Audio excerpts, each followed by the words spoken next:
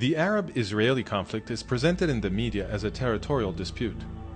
A common argument asserts that in the territory of the present state of Israel there used to reside a thousand year old Arab Palestinian people which was forcibly evicted by the Zionist Jews. In order to evaluate these claims, we must examine the historical facts. We shall do this in what follows. HIR and FACES present a series based on the book The Collapse of the West The Next Holocaust and Its Consequences.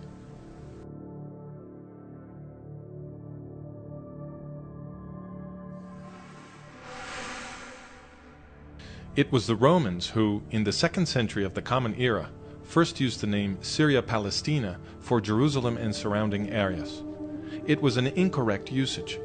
In Greek, Palestina means homeland of the Philistines, but the Philistines never occupied more than a tiny sliver on the eastern Mediterranean coast, including part of what is today's Gaza Strip, and they had ceased to exist centuries earlier.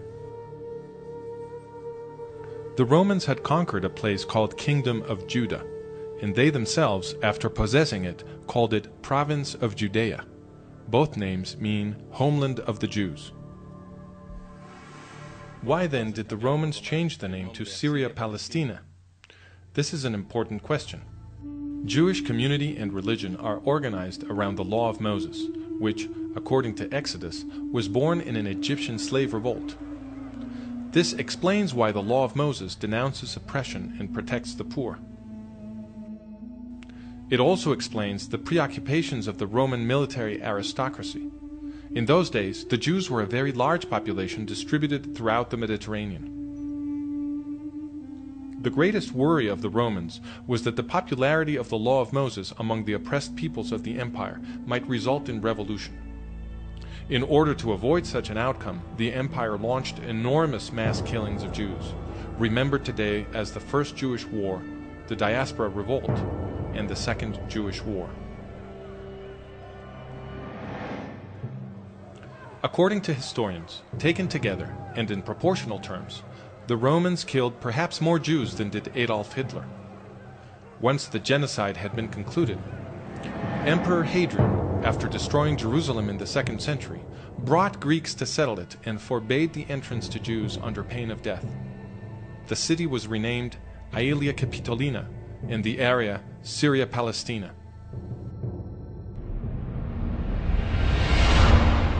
In political terms, Palestine means there are no Jews here, nor do we allow them. Some Jews stubbornly remained in their Holy Land, and many others soon returned. The Romans informally continued to call the place Judea. With the passing of the centuries, the name Palestine was used less and less and ceased to have a clear referent. Under the Turkish Ottoman Empire, overlord of the area from the 16th century, there was no administrative or political entity called Palestine. In the 20th century, after wrenching the Middle East from the Turks in World War I, the British revived the name when they created the British Mandate for Palestine but their final definition of Palestine in 1922 was just one fourth of the landmass that they themselves had baptized Palestine two years before. Such arbitrariness supports the complaint of Arab historian Philip Hitti, who testified in 1946 before the Anglo American Committee of Inquiry that there is no such thing as Palestine in history. Absolutely not.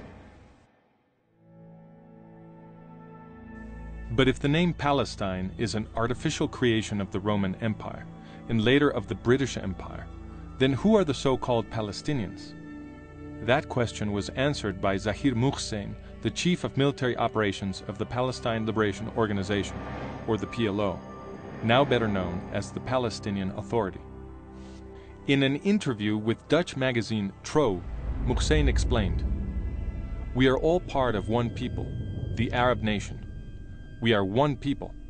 Just for political reasons, we carefully underwrite our Palestinian identity. Because it is of national interest for the Arabs to advocate the existence of Palestinians to balance Zionism.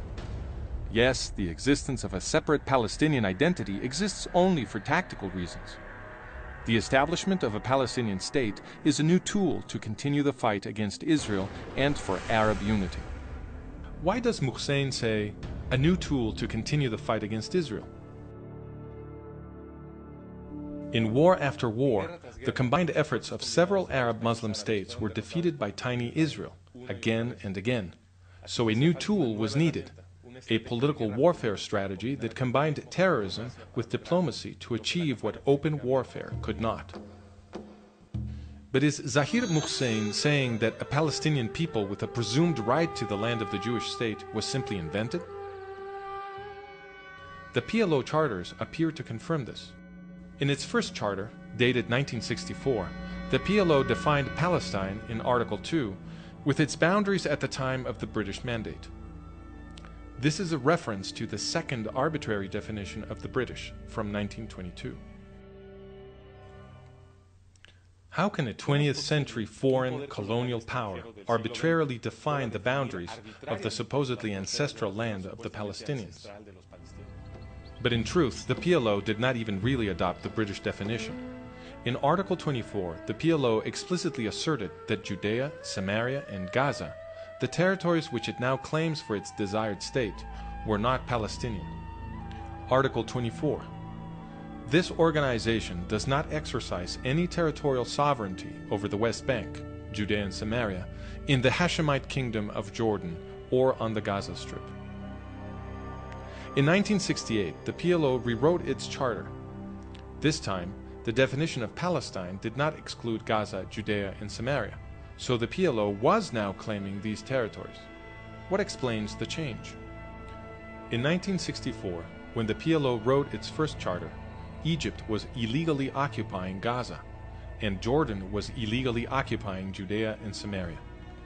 But then the Arab states provoked the War of 1967, or Six Day War, in which the Israelis captured the territories of Gaza, Judea, and Samaria, among others. It was after this that the PLO rewrote its constitution in 1968, this time including Gaza, Judea, and Samaria in its definition of Palestine. The borders of Palestine are therefore flexible and are redrawn to surround exactly the territory which Israel controls. In other words, the borders of Palestine are chosen merely so that it can be used as a tool to continue the fight against Israel. But if Palestine is a recent invention, and the same goes for the Palestinian identity, then where do the Arab Muslims now calling themselves Palestinian come from? Today, about 8 million people live in Israel. But the most reliable estimate about the 19th century puts the population of this area at 300,000. It was practically empty. And that is how 19th century travelers described it.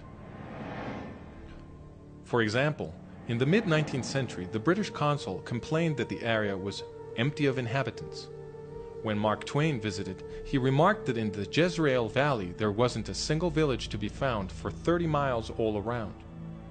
And a visiting French author, Pierre Loti, wrote that cities and palaces had turned to dust.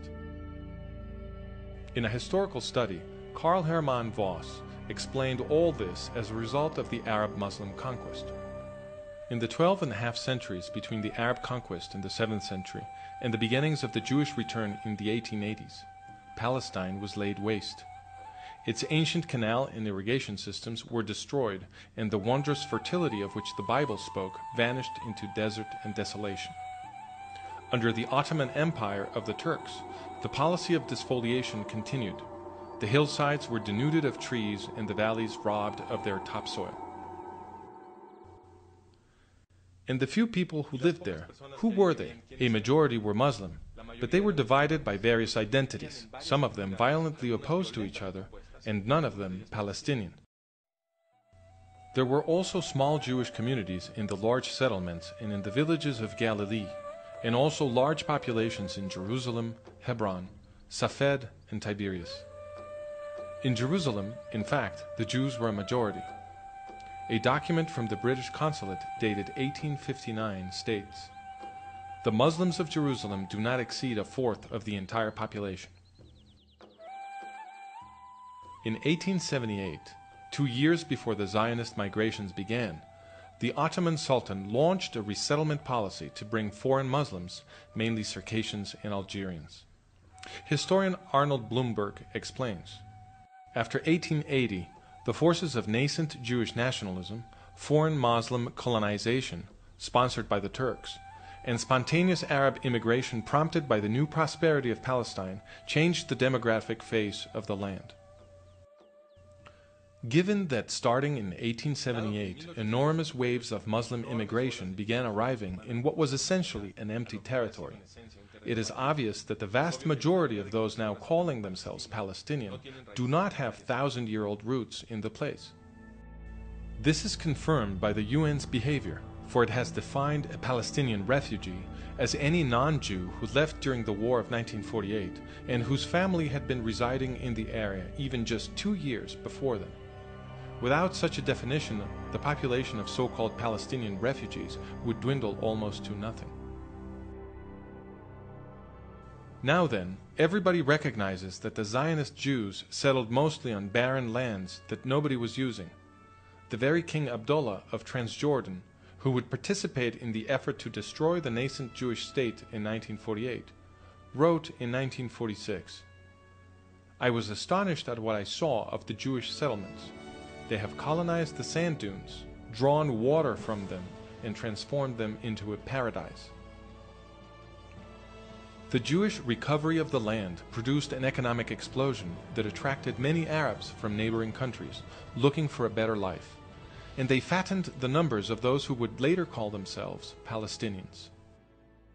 Many believe, however, that the Zionist Jews stole the lands upon which they settled, using force. Did they? That question was answered by Haj Amin al-Husseini, the father of the Palestinian movement. In 1936, Husseini, Mufti of Jerusalem, launched his fourth great terrorist assault against the Jews of British Mandate Palestine. He called it the Arab Revolt. This violence lasted until 1939.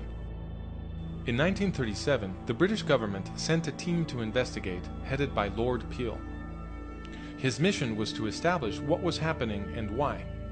He called Husseini as witness. Sir Laurie Hammond asked Husseini whether the problem was that Jews had taken Arab lands by force.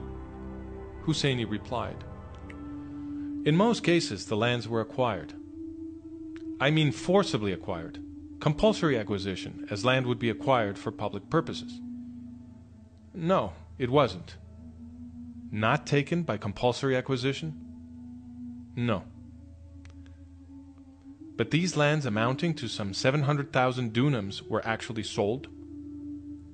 Yes, they were sold, but the country was placed in such conditions as would facilitate such purchases. I don't quite understand what you mean by that. They were sold. Who sold them? Landowners. Arabs? In most cases, they were Arabs. Was any compulsion put on them to sell? If so, by whom? As in other countries, there are people who, by force of circumstances, economic forces, sell their land. The Arab landowners who, according to Husseini, had been forced to sell their lands were the Effendi, the great feudal lords of the area. They did whatever they liked. Nobody forced them to sell. And they had sold their least productive lands at very high prices. In fact, Husseini's own family, among the largest Effendi landowners, was doing a brisk business with these sales. The Husseinis first would threaten the small landowners with death if they dared commit the so-called national crime of selling land to Jews. Then they would buy these plots at fire sale prices, consolidate them, and resell them at extortionate prices to the Zionist Jews. Historian Nathan Weinstock explains in other words, hyper-nationalist propaganda became a lucrative industry, indeed even an American-style racket, for the Arab gentry. To conclude, it is false to say that a thousand-year-old Palestinian people had its ancestral land taken by force by the Zionist Jews. First, because there was no such Palestinian people in the land, and second, because the Zionist Jews bought their lands from willing Arab landowners at prices well above the usual market rate.